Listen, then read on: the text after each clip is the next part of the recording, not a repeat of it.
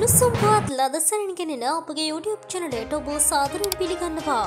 මෙන්න දලබනු තවත් උණුසුම් පුවතක්. ත්‍රස්තවාදය වැළැක්වීම පනත යටතේ අන්තර් විශ්වවිද්‍යාලීය ශිෂ්‍ය බලමණ්ඩලයේ කැඳවුම්කරු වසන්ත මුදලිගේ තවදුරටත් රඳවා තබා ගැනීම පිළිබඳ සහ ආණ්ඩුවේ මර්ධනකාරී වැඩපිළිවෙල සම්බන්ධව සාකච්ඡාවක් ඊයේ පැවැත්වී තිබෙනවා. එක්සත් සමාජවාදී පක්ෂය සමග එම පක්ෂ කාර්යාලයේදී සාකච්ඡාව සඳහා එක්සත් ජමාතවාදී පක්ෂයේ ප්‍රධාන ලෙක්කම් සිරිතුංග ජයසූරියද සහභාගී වුණු බව සඳහන්.